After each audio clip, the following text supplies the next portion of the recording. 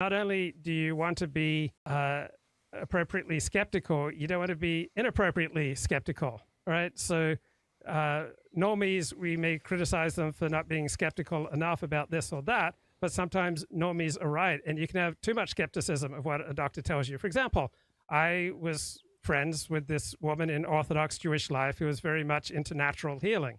Okay, all well and Yes. good, but when she got a bowel cancer diagnosis, right, she didn't follow medical direction. Instead, she tried to heal through natural means, and she was dead hmm. shortly thereafter. I suspect that she would have, you know, lived more comfortably and longer and more productively if she'd followed medical direction. So I am all for doing research on what doctors tell you, but I'm not for, you know, automatically dismissing what doctors tell you because you have these theories about natural healing. Yeah, I think that was similar actually to Steve Jobs, who Yes. uh, he he got cancer and he believed literally that he could cure it by like drinking apple juice or something.